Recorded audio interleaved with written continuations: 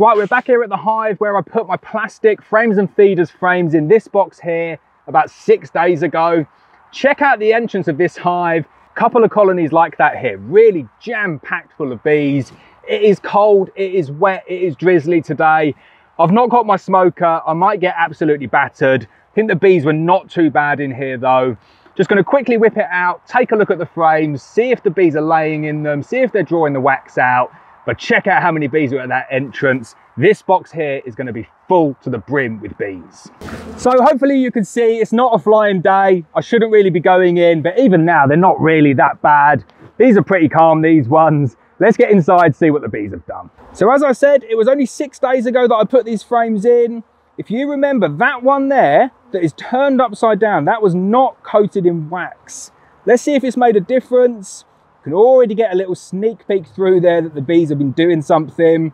A lot of those frames are looking in good condition. I'm really excited to get them out and see what's going on.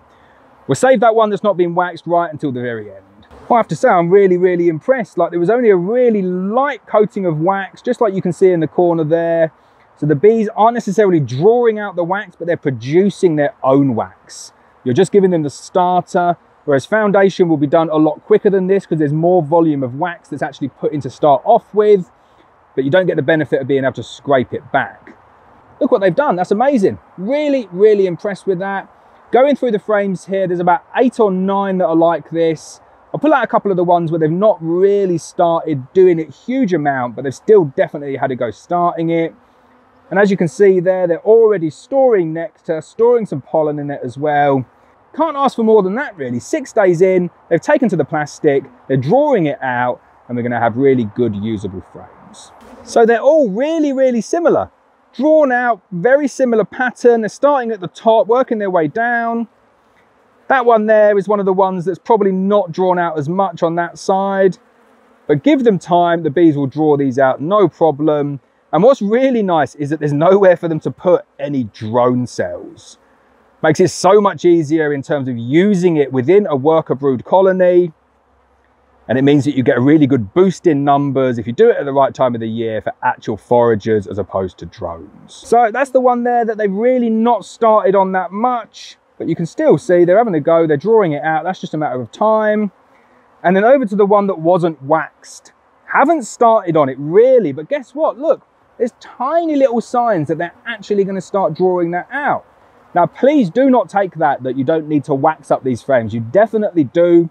And I know if I left this one in here, you'd start to get some crazy wax formations. So guess what I'm gonna do? I'm gonna leave it in here with no wax and we're gonna get some crazy wax formations. Might take them a few weeks to do it. They might completely ignore it. We'll just have to wait and see. But it's interesting, isn't it? Every single one, all 10 that had the starter wax on them, they've started drawing them out.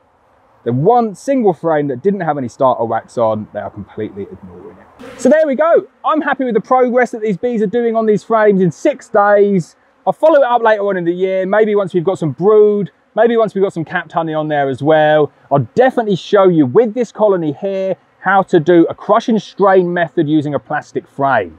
That's where I think these will come into their own also on the heather as well. If you want to see those videos, definitely subscribe to our page, maybe consider becoming a channel member.